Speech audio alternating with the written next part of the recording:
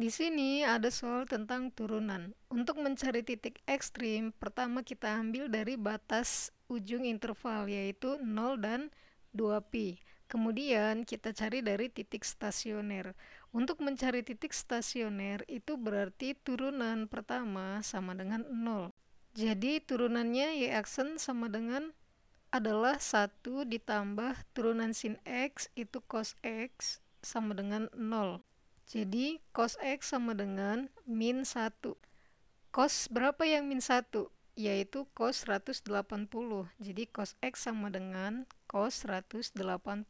Jadi dari sini kita dapatkan X sama dengan 180.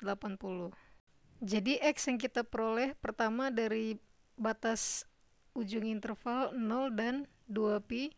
Kemudian yang kedua dari titik stasioner yaitu 180 derajat atau pi. Oke, untuk X sama dengan 0 kita substitusi ke kurva ini. Y sama, sama dengan X plus sin X. Berarti 0 ditambah sin 0 adalah 0. Berarti Y-nya 0. Kemudian X sama dengan 2pi. Berarti Y sama dengan 2pi ditambah sin 2pi. Itu sin 360 adalah 0. X sama dengan pi.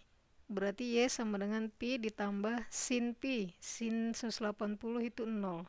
Jadi titik-titik ekstrimnya ini X-nya 0, Y-nya 0, 0,0 yang, yang ini 2pi, 2pi yang ini pi, pi jadi jenis titik ekstrimnya kita dapat mengatakan 0,0 ini titik minimum dan 2pi, 2pi ini maksimum Oke. sampai ketemu di soal selanjutnya